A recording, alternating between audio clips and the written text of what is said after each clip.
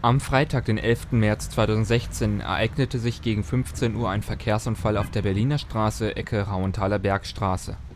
In den Verkehrsunfall waren drei Pkw verwickelt, wovon zwei, ein BMW und ein Nissan, erheblich beschädigt wurden.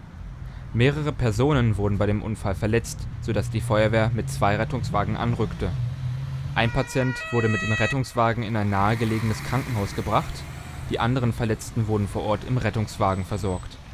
Auf der Bundesstraße 7 und der Rauenthaler Bergstraße kam es während des Einsatzes zu einer erheblichen Verkehrsbehinderung